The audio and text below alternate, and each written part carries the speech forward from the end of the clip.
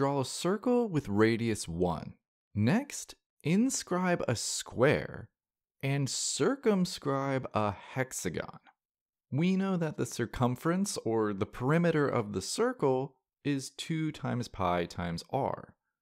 In this case, the radius r is 1, and so the circumference of this circle is just 2 pi. What's the perimeter of the other shapes? With things set up this way, we can use the radius of this circle and a little bit of geometry to figure out the perimeter of the square. By the Pythagorean theorem, this square's side length is root 2, hence the perimeter of the square is 4 root 2. Now, without diving too much into trigonometry, there's a nice formula for the side length of a circumscribed polygon. The side length is 2r tan theta, where theta is 180 degrees divided by the number of sides.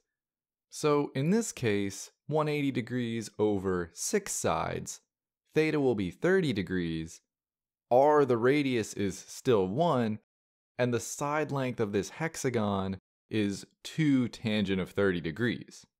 Tangent of 30 is root 3 over 3, and so the side length of this hexagon is 2 root 3 over 3.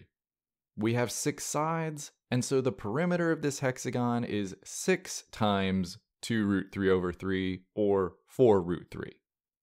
The thing to notice is that the hexagon is outside the circle, the square is inside the circle, and well, the circle is in between the hexagon and the square.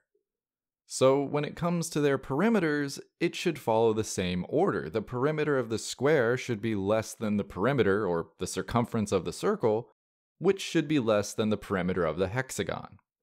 And setting it up in this way, we might even say that the perimeters of the square and the hexagon are approximations to the circumference of the circle. Or a better approximation would be their average. If we were to average the perimeters of the square and the hexagon, that should be a pretty good approximation for the circumference of the circle.